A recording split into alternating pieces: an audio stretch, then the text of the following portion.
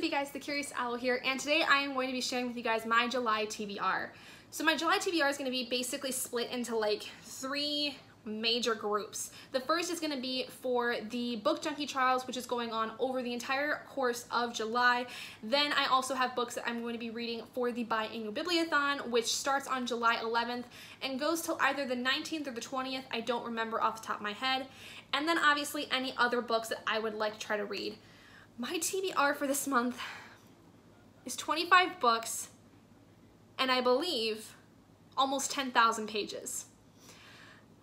so first things first, I am on Team Mage for the Book Junkie Trials. The first book I'm going to be reading within the Book Junkie Trials is going to be called All We Knew But Couldn't Say by Joanne Vannicola, I believe.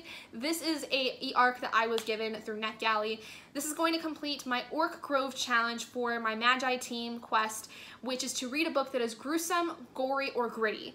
This is a adult contemporary, I believe, that focuses on some very, very hard to swallow topics, such as like sexual abuse, so it's probably going to be very gritty and very gruesome. The next book that I would like to try to complete within the Book Junkie Trials is finishing up A Storm of Swords by George R. R. Martin. At this point in my reading, I'm on page 355, so I am a little more, I think, than a quarter of the way through the book. This is going to be counting for my Old Pirate Road challenge, which is to read a story at sea, as a lot of the story actually actually does, it points if it takes place at sea, or at least the chapter I have read prior to this challenge starting was at sea. Like there was a small portion of the book at sea basically. The next book that I am going to be reading for the Book Junkie Trials is called Spin the Dawn by Elizabeth Lim. This is another arc I was given on NetGalley that is going to be a new release at the very beginning of July.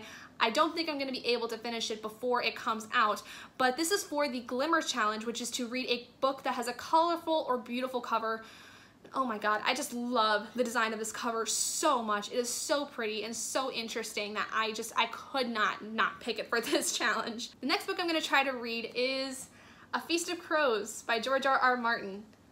Yeah, I'm going to try to use two books in the Song of Ice and Fire series for my challenges. That's going to be an interesting time. But this is for the Draconic Isles challenge, which is to read a book that features dragons because obviously we got Daenerys' dragons in this story, and, and they're quite interesting characters. They're, they're very cute and fun, and I like them a lot. And the final book completing my Magi Quest portion of the Book Junkie Trials is to read the group book, which is Stardust by Neil Gaiman.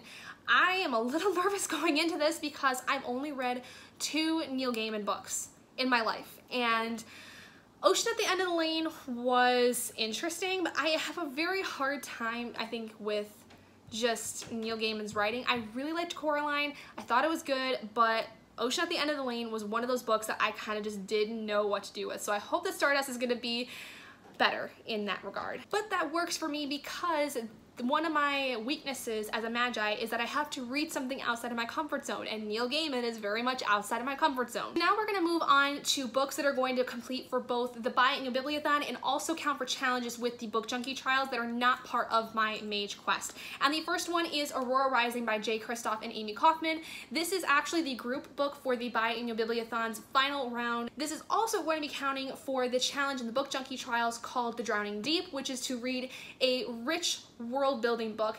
And because this is kind of sci-fi based, I have a good feeling that this one's gonna have some pretty rich world building aspects to it. The next book I'm going to be reading is The Gentleman's Guide to Vice and Virtue by Mackenzi Lee. This is one of my most anticipated books from like the last few years.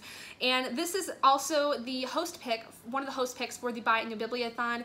I think this was Brittany's pick and it is also going to count for the Great Library Challenge for the Book Junkie Trials, which is to read something that's been on your TBR for a long time, and this one definitely has been up there as like one of the longest awaited TBR reads. The next book that I'm gonna read is the audiobook for Crazy House by James Patterson and I believe Gabrielle Charbonnet, and this is to complete the Elvengar Challenge for the uh, Book Junkie Trials, which is to read a book with war, military, or uh, political themes. This one, I believe, is placed in a, in a world where there's some kind of like government control of some kind. So I thought that that would be a really good way to weave in a new James Patterson that I've not read yet. The next book that I'm gonna read is called In the Shadow of Spindrift House, which is by Mira Grant, I believe. This is a very creepy atmospheric story, and because I know it's gonna be very atmospheric, I decided to pick it for the challenge in the Book Junkie Trials called Hollow Isle, which is to read an atmospheric or horror-based book. And I think this one's gonna be pretty creepy because the cover's pretty creepy. The next challenge is the Empty Barrel Inn, which is to read an indulgent read. For this I'm picking Wherever She Goes by Kelley Armstrong because this is supposed to be a psychological thriller. And y'all know I love me some psychological thrillers. The next challenge for the Book Junkie Trials I'm gonna try to complete is the Giant Squid Challenge, which is to read an intimidating read. And for this one, I'm gonna try to finish the series. I swear to God, I'm gonna try to do it this month. The next challenge I would like to complete with the Book Junkie Trials is the Crimson Peaks Challenge, which is to reread a favorite. And for this, I am finally going to hopefully get back to the Morganville Vampires and read the second novel, Dead Girls Dance by Rachel Caine. Continuing with the Morganville Vampires, I also will be reading Midnight Alley for the Forgotten Forest Challenge, which is to read the next book in the series. The next challenge is going to be The Weeping Falls, which is to read a tear-inducing book, which is gonna be, I think, A List of Cages by Robin Roe.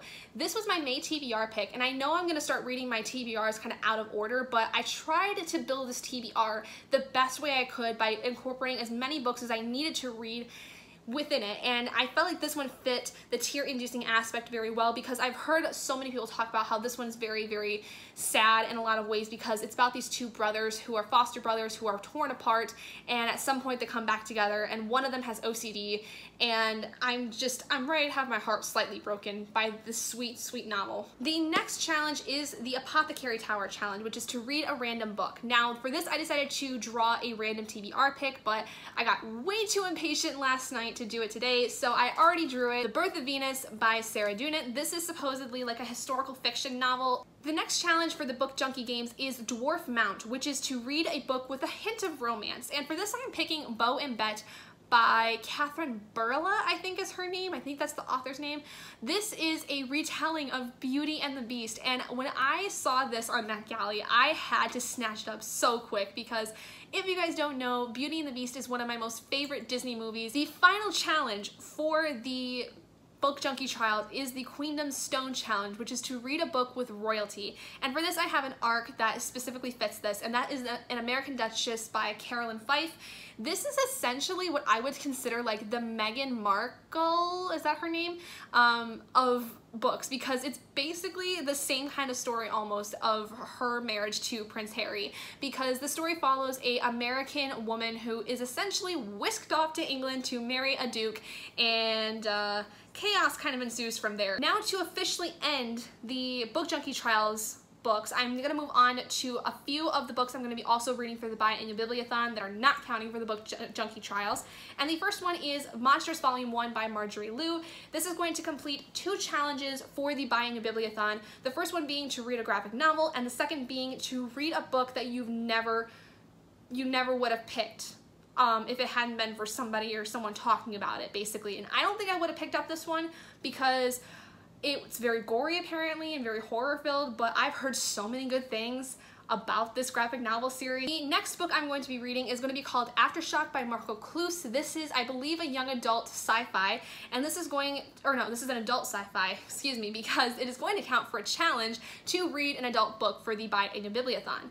This book is also going to count for the challenge of reading a book from an author you've never read, as I believe this is his debut novel, if I'm not mistaken. The next book I'm going to read is called David Mogo God Hunter, which is to also count for two challenges in the Biannual Bibliothon, which is to read a predicted five-star read, because I think I am going to love the crap out of this book based on the synopsis of it, which I can't remember off the top of my head, and also to pick a book that is a cover read. And I love this cover. It's so bright and fun and looks super inviting, but it's probably going to be one of those stories where it's going to scare the crap out of me at some points. Okay, so all of the challenge books are done. Now I'm gonna move into the books that I'm just reading if I can get to them at some point in the month, which knowing me is probably not gonna happen, but I am believing in myself this month. It is my birthday month. I deserve to do a lot of reading. The first one is to read Feast of Fools, which is the fourth book in the Morganville Vampire series by Rachel Caine, and then also read Lord of Misrule, the fifth book, because I want to try to catch myself back up, and at this point in July, I should be on book five. Next is reading Smoke in the Sun by Renee Ahdieh. This was my March TBR pick, and is the second novel in the Flame in the Mist duology. I've been waiting to read this for a long time and I really need to get to it. Next is then to read Jackaby by William Ritter, which is the first novel in the Jackaby series and was my April TBR pick. And last, but certainly not least, and is going to be a freaking miracle if I can finish it in the day that I plan on finishing it, is Cinder by uh, Marissa Meyer. I almost forgot her name. this was my June TBR pick that I did not get to, but if I stick to the reading schedule that I have now, I should hopefully somehow finish this on the 31st. I don't know if that's gonna happen. I think I might be cutting it close, but I'm gonna try my damnedest. So, long-winded as that was, those are all 25 of the books I plan on reading this month. If I have the ability to listen to more audiobooks, I think I will definitely work with that for several of these books, especially once I finish my uh, Magi Quest ones. I definitely think that's gonna be how I might get through a lot of these. Anyway, let me know if you guys are competing in either the Book Junkie Trials or the Buy a Bibliothon, or if you're not at all, let me know what you guys are just reading down in the comments below. I'd love to know what you guys think. If you liked any of these books and what you thought of them, let me know also down there. Anyway, thank you guys so much for joining me. If you guys did enjoy this video, please do give it a big thumbs up. And if you're not already and you'd like to be, hit that button down below and subscribe to become an owlet in our flock. And I will see all of you guys in my next video. Bye guys!